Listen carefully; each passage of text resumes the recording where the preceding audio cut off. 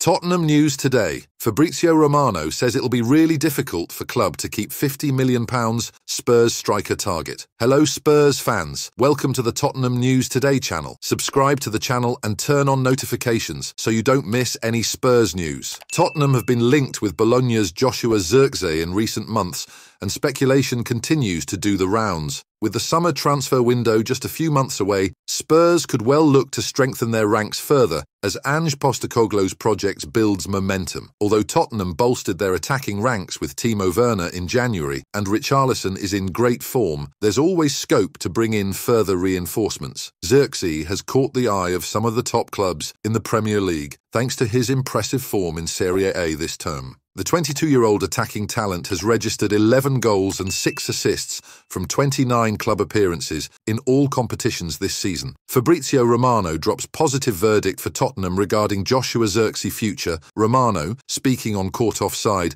has shared his thoughts on Zirkzee's future and the transfer speculation surrounding him. The transfer insider says many clubs are following him, but nobody has made contact with the player's camp or club just yet. Romano also feels it will be really difficult for the Italian outfit to keep hold of Zirkzee, suggesting he's likely to move in summer. Joshua Zirkzee, he is doing fantastic, so let's see what concrete interest will appear, said Romano. At the moment, many clubs are following him, but nobody has started a conversation. I think it will be really difficult for Bologna to keep the player. Zirkzee is a quality player with amazing potential and a high ceiling, so it's not surprising that the likes of Tottenham and Arsenal are apparently pursuing him. Indeed, there have even been comparisons between the Bologna talent and Premier League legend Dennis Bergkamp. Former Italy international Francesco Graziani is quoted as saying, by Bologna Sport News in December, Technically, he is very good and has shown that he sees the goal. In Zirkzee, I seem to see the Dutch Dennis Bergkamp,